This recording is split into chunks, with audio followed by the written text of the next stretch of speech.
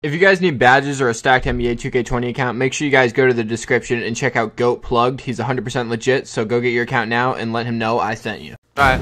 What's good, motherfuckers? So I know, I know, you know, another build video in a week. I promise it's not becoming a trend. I'm not thirsty for views. It's just, I'm uploading a video tomorrow. I'm just uploading a video tomorrow that's going to make a lot more sense and it's going to be a lot easier for you guys if you just watch this video today. So trust me, watch the video today. For all the people that are new, by the time this video is going up, I should be at around 40,000 subscribers. So if we're at 40k, thank you guys so much for 40k subscribers. That means a lot to me. We are going to try to hit 100,000 subscribers at least this year. So make sure you guys subscribe to that channel if you're new. Also, I am giving away VC at the end of the month. So if you guys want a chance to win that, make sure you subscribe to the channel, turn on post notifications, and like the video. Comment down below your console and you'll be entered in. But yeah, this build. We're gonna talk about this build. This build is goaded. Uh i don't have enough good stuff to say about it to be honest. I mean i i shoot pretty much green most of the time with this build. It can shoot fades it can shoot threes it can throw oops it could play defense. It can do just about anything in the world. And um you know, I definitely recommend trying this build out. I mean, it's definitely like a Stephen Curry type of build with just, you know, every goat tendency that you could have on it. So I'm going to go ahead and I'm going to get into this build because I'm not going to waste your time. But I just want to tell you guys pretty much a little synopsis of what this build is. Alright, so we're in the My Player Builder now. This is what is important now, so make sure you guys pay attention because I'm not going to explain this twice. Just go ahead, let's get into it. So first name, last name does not matter. We're going to get into the position now. I'm going to go with the point guard you guys need to go with the point guard as well. Shooting guard, I don't know why you'd pick shooting guard. We could just be point guard. Go point guard. Handedness does not matter. If you like to fade on the left side more than the right, go left. If you like to fade on the right side more, go right. And we're going to get on with it. So skill breakdown, we're actually going to pick the green uh, the green orange one. So pretty much scroll down, find the green orange one right here. It's the playmaking and shooting, uh, you know, you know, badge system where we could get Hall of Fame badges on both those. So we're to be able to speed boost with this build, obviously and we're going to be able to shoot. We're going to be able to do all sorts of stuff with this. So so the main purpose of this build just be super sweaty in the park to be able to win a ton to be able to have fun as well uh, when you're doing it. So we're going to have to have a build that makes sense. So if we were going to make this build and choose any other pie chart but the top one it just wouldn't make sense. So the first pie chart that we're going to choose for the physical profile has the highest speed and acceleration go ahead and pick that one. So this is where it gets interesting. This is where I kind of like messed up my first build video in the beginning of the year because I didn't really know the meta as well. Uh, but now I got you guys, and this is definitely the way you're going to want to make your build. So shooting, uh, we're going to max out our shooting, obviously, so we could get our shooting badges that way. I'm even going to bring it down just a little bit just so we get 23 because I don't think we need 25. That might be a little bit of overkill, and we're going to need space for other stuff. So we're going to go with that, and we're going to go with that. So that's 21. I'm going to go ahead and just get like, I don't know, a little bit more. 24, we'll say. So we got 24 playmaking, 23 shooting. Next, before we go to the defense, I'm just going to go up here, and we are going to max out our close shot. Close shots are broken this year. You will not have to worry about making any any types of close shots. Trust me, those, like, just keep it at 82. Driving layup, we don't need to touch that. I don't think you, like, I didn't even upgrade my driving layup on the first time I made my build. And it everything goes in if it's like a slightly contested layup. So keep driving layup like that. Put your driving dunk to a 50 just so you're able to get some driving dunks. Because believe it or not, you could actually uh, dunk on fast breaks and dunk in traffic with a 50 driving dunk, which is kind of cool. Didn't expect 2K to do anything like that, but uh, they did. And we're going to keep it going, though. We're going to upgrade our lateral quickness, our perimeter defense. We're going to max out our steal.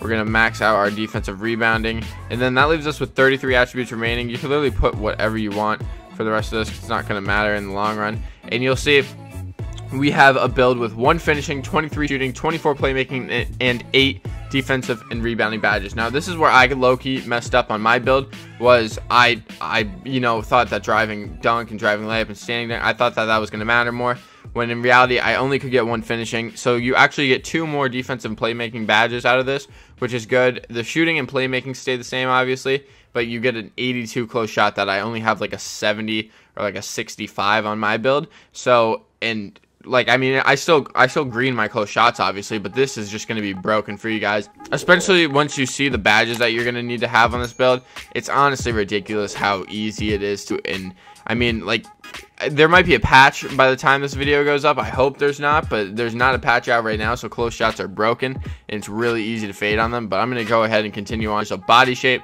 does not matter. I'm just going to go with like a solid build. It does. It really doesn't matter. It, it's up to you, whatever you want to do. But I'm just gonna go solid. Now here with height, I have seen people do two different options. So what you're not gonna want to do is go 6'4". I've seen some people put their build at 6'4". That inch is not worth it, guys. I mean, I don't know what YouTubers are telling you guys that this inch is worth it. Please do not make your guys 6'4". It's really not. I see people making these 6'4 builds. I'm just like, what are you doing, man? You, if anything, if anything, if you don't want to keep it at 6'3", make it 6'2". That's what people have been doing. I know that sounds weird. You're like, 6'2". Now, actually, a lot of good people that I know that are really, really good at the game made their player 6'2", and it's a demon. It's insane how good they are. So I would I would consider making it 6'2". For my preference and what I'm really having a lot of fun with is the 6'3". However, if you want to go ahead and get that extra speed and extra acceleration, you can drop it down an inch because as you see, it literally takes away post moves for you.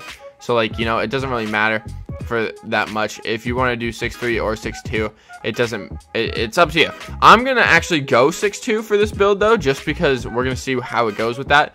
But if you're more comfortable with 6'3, go ahead and be my guest. So we're going to turn this height uh, to 6'2. We're going to turn the weight to the lowest weight, 165. So we have 91 speed and 90 acceleration, which is three more speed than I get currently at, like 92. So that's a pretty good amount of speed. Plus, if you're doing your, uh, you know, gym rat stuff, the weekly uh, stuff in the gym, you're going to be getting like plus three or plus four to that. So you're going to have possibly like 95, 94 speed and, and 90, like 4, 93 acceleration. So you're going to be a super fast guard and hard to guard for that. Um, after you do that, you're going to want to low get the lowest wingspan, you know, so you could have that 91 three-pointer, that 89 ball handling. You're not going to need anything uh, besides that. People that max their wingspan out on guards are brain dead. Do not do that. It's really just, it's so stupid if you do that. So lower your wingspan. Make sure you have the lowest wingspan so you're at that. And then you come to the takeover. Now, this is where I wish I would have waited for my build because I made myself a shot creating takeover, which don't get me wrong Shot creating takeover is overpowered in the sense that you could fade from half court right now. So you could like that's overpowered. You could green from really deep. You could also like abuse it at the twos, you know, with greeting fades and just spamming close shots and mid ranges and all that kind of stuff. So be my guest if you want to use shot creating takeover. Like I said, this is still a good takeover. This is what I use for takeover. So if you want to use this, go ahead. But, but the spot up shooter takeover is so overpowered this year. It's honestly ridiculous. If you get this, you're not missing. I mean, so many people, uh, you know, opted to the shot creating takeover this year, and I feel like if they would have, if they would have went to shooter, you know, we'd be in trouble. So this is definitely what we're going to choose for the takeover. I wish I chose this as my takeover. Uh, it's a very, very good takeover, and it's pretty easy to green from anywhere. So we're going to see. We have made a playmaking shot creator. This is the Stephen Curry type of build. Kyrie Irving, Jamal Murray, all great point guards, and, uh, you know, to be compared to. But I'm going to go ahead and test the build and show you guys these badges quick. All right, so we're going to get right to it. So the badges are going to be real. First things first, we got our finishing. I'm going to go ahead I'm going to put Relentless Finisher on because that's just what I run. And I get some like bailout layups once in a while. Shooting now. Shooting simple. Shooting we're going to put on Range Extender Hall of Fame. Green Machine Hall of Fame. Hot Zone Hunter Hall of Fame. Deadeye Hall of Fame. Now here is where you could do whatever you want. Some people, like I actually used to run Volume Shooter Hall of Fame. And I used to run Tireless Shooter on Gold. I was running that for a little bit.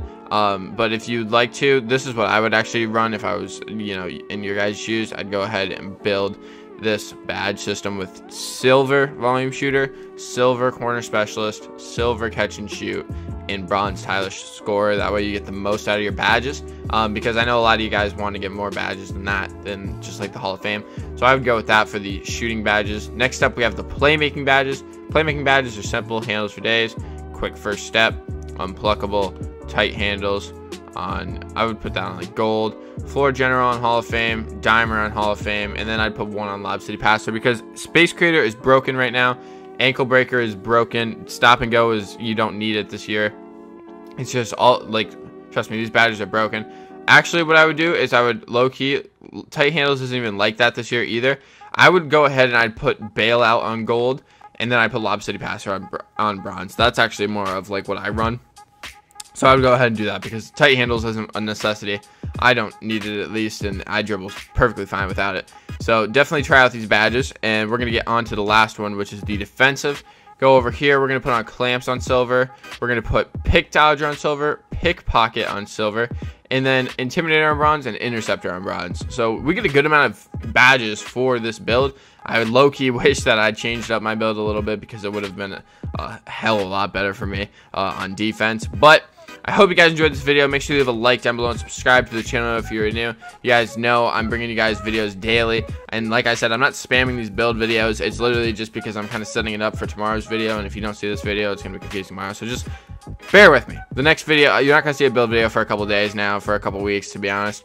Uh, you know, you might see some jump shot videos in there, but this is definitely the last build video for a couple uh, weeks just because I got a lot of stuff in store for you guys, and I'm going to start streaming soon, so make sure you guys go ahead and hit all my socials, follow them down below, and uh, they're on the screen right there. So I hope you guys enjoyed the video, though. Subscribe to the channel if you're new. I'm Fitzy, and I'll see you next time.